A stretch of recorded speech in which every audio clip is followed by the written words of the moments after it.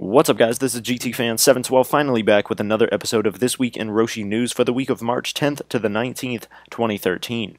I apologize for the tardiness of this episode, however, this has been the biggest ever week in Roshe News, and I was away on vacation for its entirety with no internet access, leaving me only a few days to catch up on all that has happened and cram it into a video for you guys. You can expect This Week in Roshe News to return to its regularly scheduled weekend release this upcoming weekend. This is going to be a very long episode, so if you'd prefer to simply read about the stories instead of hearing me tell you them, you can find all of the news listed in the description below. Now, let's get into this week's releases. Now, this week brought us several releases, the first of which being the surprising release of the never-before-seen Total Crimson Roshes, featuring a Total Crimson OG mesh upper, a Gamma Gray swoosh, and a Sail sole. This colorway appeared this week at select foot action locations, so give your local store a call to see if you can cop a pair of this bright orange Roshe Run. Next up, the other spring colorways were spotted at several retailers this week, including Bows and Arrows in Berkeley, California, and Premier Boutique, who received the Squadron Blues, Tarp Greens, and Black and Gamma Grays. More information on these colorways is coming up later in this episode.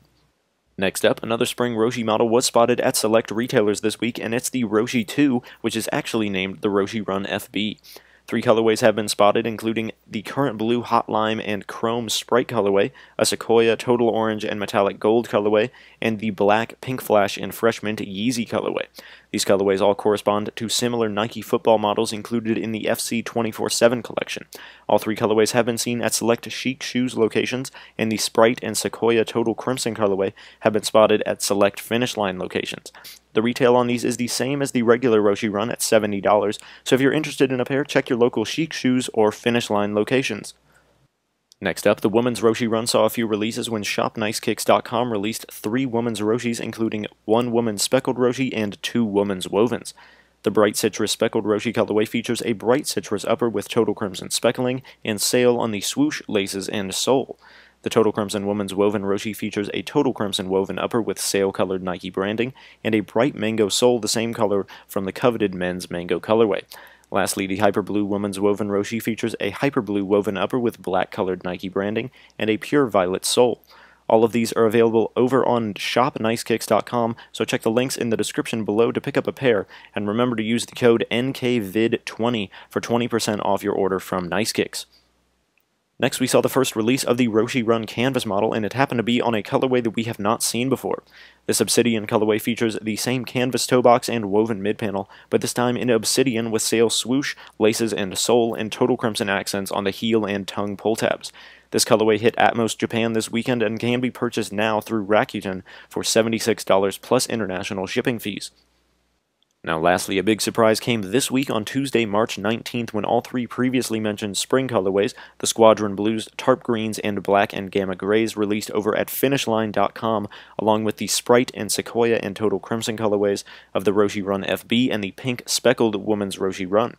These are all available now on FinishLine.com for $70 with free shipping. Limited sizes are left in stock, but if you'd like to purchase a pair, you can do so now by checking on the links in the description below. As of now, we're not sure on the whereabouts of the final spring colorway, the Mango V2, but stick with This Week in Roshe News for any future release dates and information. First up, we get a few more images of the upcoming Roshe Run Mid City Pack, which is set for release this weekend. ID4 Shoes on eBay put up their pairs of all four City Pack colorways this week, giving us a better look at each colorway.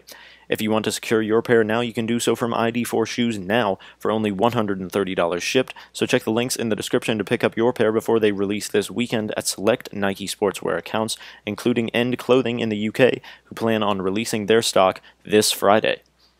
Next up, Team Roshe's own Bombers picked up this sample of the black and total crimson colorway of the dynamic Flywire Roshe Run. He provided us with some detailed shots of this upcoming model, highlighting the multicolored Flywire in the mid panel and the total crimson Flywire pull tabs. In the comments below, let me know how you like this sample and if you plan on picking up a pair when they release in the near future. This week we got another look at both colorways of the upcoming Tiger Camo Roshes, including this excellent shot of the green colorway from Mr. Bianco and Alex Scharf. No word on if or when these printed Roshes will release, but let me know how you like them in the comments below. Next up, we get another look at the Women's Roshe Run. This image could possibly be a look at the Fall 2013 Women's Roshe Run lineup, including four colorways. A selection of black, brown, gray, and burgundy uppers are shown, all with an orange-colored swoosh. No confirmation that this is actually an upcoming pack of Women's Roshes, but let me know how you like them in the comments below. Staying on the topic of the woman's Roshe run, we get another look at one of the woman's tie-dye colorways, which features several shades of gray on the tie-dyed upper, a dark gray swoosh, and total crimson accents on the eyelets and tongue pull tab. Still no release information on these women's Roshes, but let me know if you would pick them up in the comments below.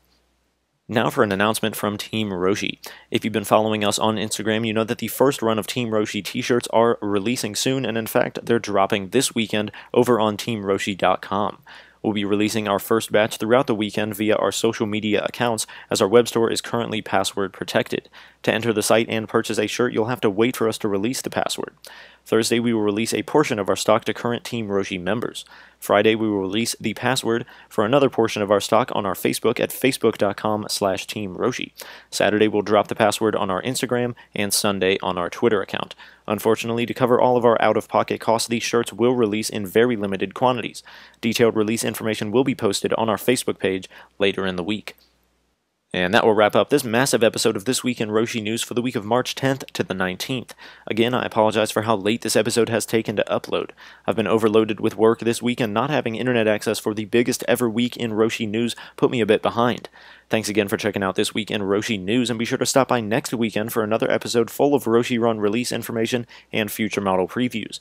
If you guys have any questions or would like to know more about the Roshe Run, feel free to leave me a comment below or check the links in the description to go to the Nike Talk or Sole Collector Roshe Run forums. If you're on Twitter or Instagram, be sure to follow Team Roshe at Team Roshe for up-to-the-minute news updates and member photos, and check us out on Facebook at facebook.com slash Team Roshe. You can follow myself at GTFan712 for updates on any future videos and daily sneaker photos, and if you're enjoying my content, be sure to like me over on facebook.com slash GTFan712 Productions. Until next time, this has been GTFan712. Thanks for watching.